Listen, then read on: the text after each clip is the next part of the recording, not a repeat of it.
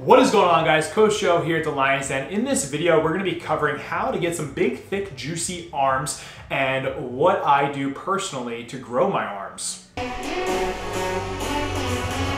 Guys, like I said in the intro, we're gonna be talking about how to grow your biceps and triceps, so the arms. And I put other videos out in the past, which I'll link throughout this video, uh, but the main thing that I've noticed when it comes to growing the arms has been increasing the frequency and increasing the volume. So compared to uh, larger muscle groups, the biceps and triceps are gonna be smaller. So when we have smaller muscle groups, typically they tend to recover faster and we can actually push the volume higher uh, per session with those muscle groups. So when it comes to frequency for myself, typically I train the arms two to three times per week. So on my main pushing days, I always like to incorporate some sort of tricep assistance or accessory work.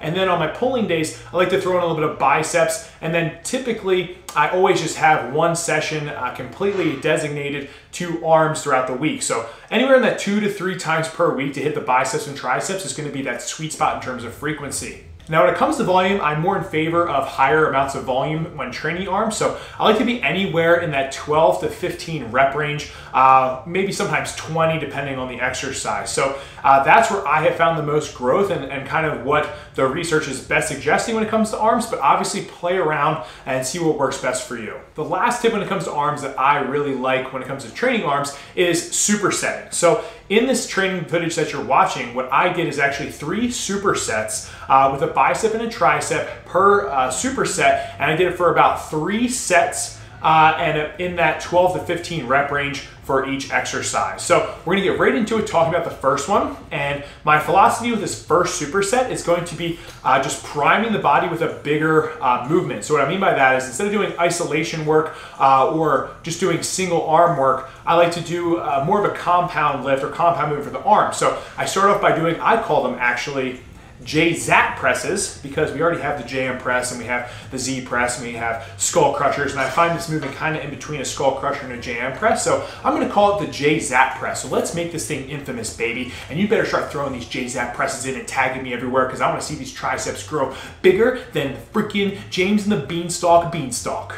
It, James James and the Beanstalk? Or is it Jack and the Beanstalk and James and the Giant Peach? This is awkward so we have the JZAP press, okay, and I did three sets of 12 to 15 reps, and the first set I wanted to have at least three reps in the tank, the second set about two reps in the tank, and then the last set about one rep in the tank, just to gauge the intensity. Uh, we're gonna superset that with a bicep curl. Uh, we're gonna use a bar, so either a barbell or EZ bar. Now, I use an EZ bar because it's a little bit uh, better on my wrists and elbows. If you're fine with a barbell, use a barbell or a straight bar. That's totally fine. Uh, but for me, the EZ bar just feels a little bit better on my joints and really allows me to hit uh, the biceps pretty hard. So just going back and forth between those two movements, and I'm typically gonna rest anywhere from two and a half to three minutes uh, between each superset, uh, so I can really focus on hitting it hard uh, when I'm going through that, that full range of motion. So that's the other key point here, which I talked about in my other videos. We wanna get full range of motion for all these exercises. I, I really don't see much reason why we wouldn't wanna hit full range of motion working with Mike Israetel, the RP Strength crew you know, they have a lot of great information on why we should go full range of motion. So I love to hit full ROM uh, with all these movements that I'm gonna be talking about. Now next, so the, the second of the three supersets, uh, we move over to uh, some straight bar pushdowns. So a little bit more isolation here of the triceps.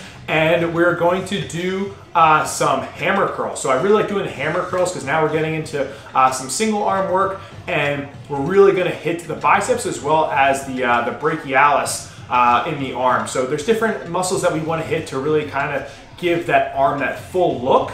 Um, so when we're doing these guys, just really focusing on that mind muscle connection. So uh, for the push downs, the straight bar push down, something I really like to think about is almost like I'm pushing myself out of a pool, right? Where you're almost doing that muscle up to get out of the pool when you're on the edge of the pool. That's what I'm thinking about uh, when I'm doing these. I'm really trying to push the bar down and away from me and hit that tricep as hard as I can.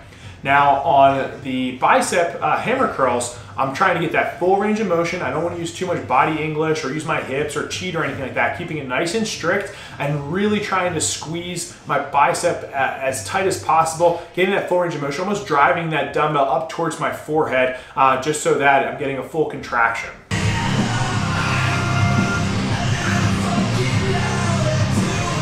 C curls, baby! Z curls. Ah!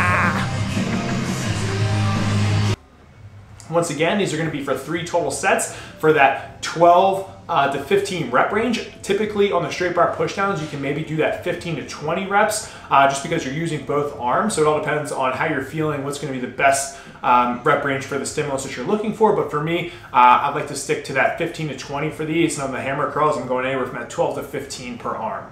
Lastly, on tap for the third superset for the triceps, we're going to do uh, cable kickbacks. Now with these cable kickbacks, you want to make sure that the weight is light enough that you can fully lock the arm out um, with the extension of the elbow, okay? So that's going to be a key one. If you go too heavy, you're not going to be able to get that lockout, and I think just those little degrees of range of motion is really going to help uh, give your muscle the best stimulus possible for growth and just look like a nice full belly um, for the triceps, okay? So when you're hitting those full ROM, uh, for this I did about 15 per arm. Uh, same thing, three reps left in the tank on the first set, all the way down to one rep left in the tank on the third set. And then we're supersetting with incline alternating dumbbell curls. And I really like these for the isolation on the bicep. We can't cheat these at all, okay? We're keeping that back pressed against the bench and just really putting as much emphasis into the bicep as possible. Uh, and you're just gonna alternate back and forth. Once again, 12 to 15 reps uh, per arm. First set, about three reps left in the tank.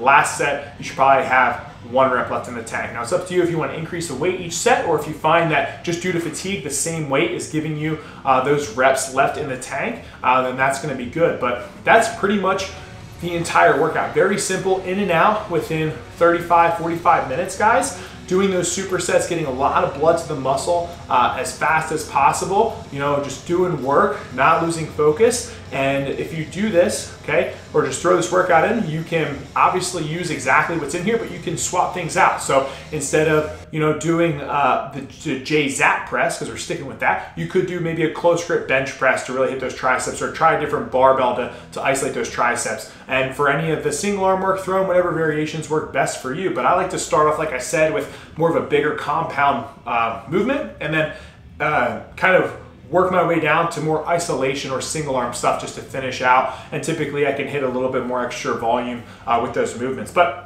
that is it, guys. If you like the video, make sure you subscribe to the channel, give the video a thumbs up, and share it with all your friends on social media platforms, etc. Uh, but I hope that this helped. Watch the other videos on the arm training. And of course, guys, stay a lean, mean strength machine.